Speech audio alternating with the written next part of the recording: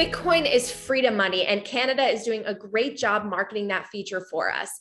I'm Natalie Brunell for Bitcoin Magazine, reporting in El Salvador following the developments in Canada over the Freedom Convoy truckers and the government response. Now, to catch you up, the Freedom Convoy started as a protest against the country's COVID 19 mandates, with the truckers advocating for the end of restrictions and for economic freedom. Now, a GoFundMe account was set up to support the truckers' efforts, raising nearly 10 million Canadian dollars but GoFundMe shut down the ability to distribute those funds to truckers because the company said the fundraiser violated its policies. Now, this is where Bitcoiners became impassioned to step in. They raised more than 21 Bitcoins for the Freedom Convoy.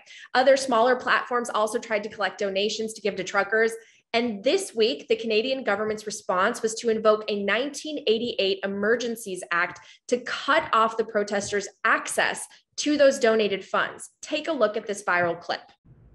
We are announcing the following immediate actions. First, we are broadening the scope of Canada's anti money laundering and terrorist financing rules so that they cover crowdfunding platforms and the payment service providers they use. These changes cover all forms of transactions, including digital assets, such as cryptocurrencies. The illegal blockades have highlighted the fact that crowdfunding platforms and some of the payment service providers they use are not fully captured under the Proceeds of Crime and Terrorist Financing Act. Our banks and financial institutions are already obligated to report to the Financial Transactions and Reports Analysis Centre of Canada, or FINTRAC. As of today, all crowdfunding platforms and the payment service providers they use must register with FINTRAC and they must report large and suspicious transactions to FINTRAC. Now, you heard that right. The government can now freeze Canadians' bank accounts if authorities suspect you have donated $25 or more to the trucking convoy. Now, responses from Bitcoiners came pouring in, including myself. Let's take a look at some of those tweets. Preston Pysh said, quote, you think that's money in your account? That's an entry in someone else's database who can decide at any moment whether you're allowed to spend it or not. Do your opinions differ from theirs?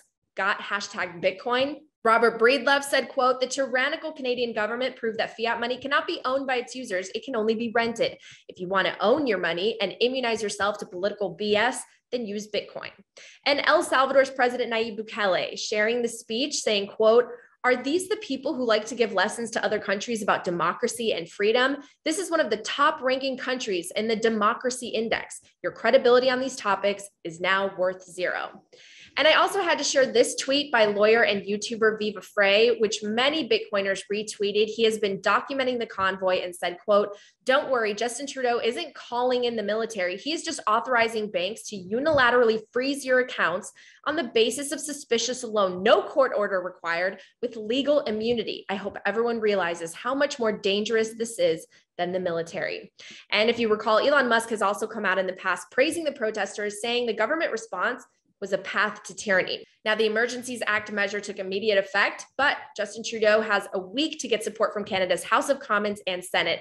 And for Bitcoiners, this is one of the most compelling arguments and value scenarios, value propositions for the digital asset, because unlike legacy banking accounts that they are going to freeze, Bitcoin, especially if self custodied, cannot be shut down and cannot be confiscated because it's not run on a centralized network controlled by a single traditional payment provider. Now, of course, we will be following this story and bring you updates as they become available. Make sure to follow bitcoinmagazine.com.